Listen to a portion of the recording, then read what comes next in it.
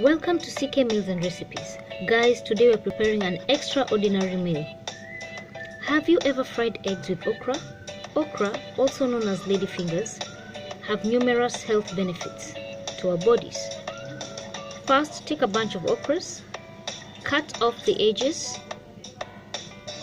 wash them well, and the side, put some water to boil and add some salt to taste. You know okras just like cucumbers, they don't have any sugary or salty taste.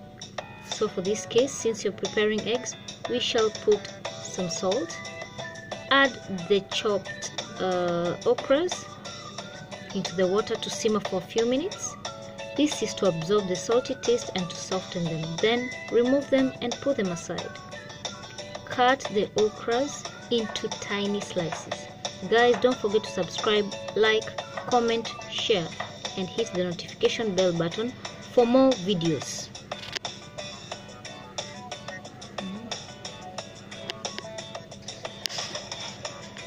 Then after slicing them into tiny pieces, put them on a side plate. Then our eggs. Guys, you can use uh, as many eggs as you like. It depends on you. You can use two, three, or four, or five eggs.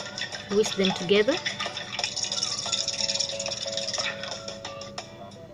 Then take some green onions. Green onions taste fabulous with eggs.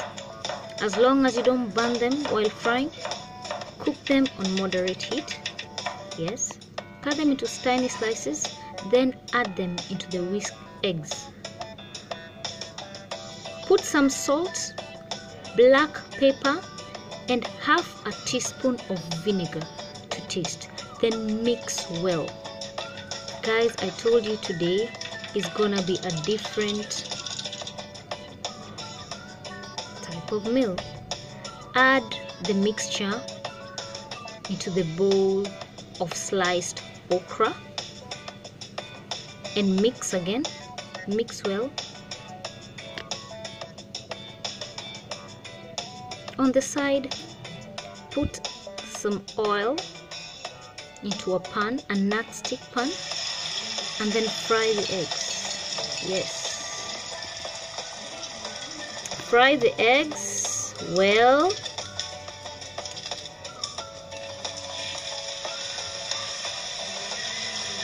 Mix and turn it well. You see, this is the result. Guys, you can have this with a toasted bread or rice or any meal of your choice. Thank you guys for watching. Bye.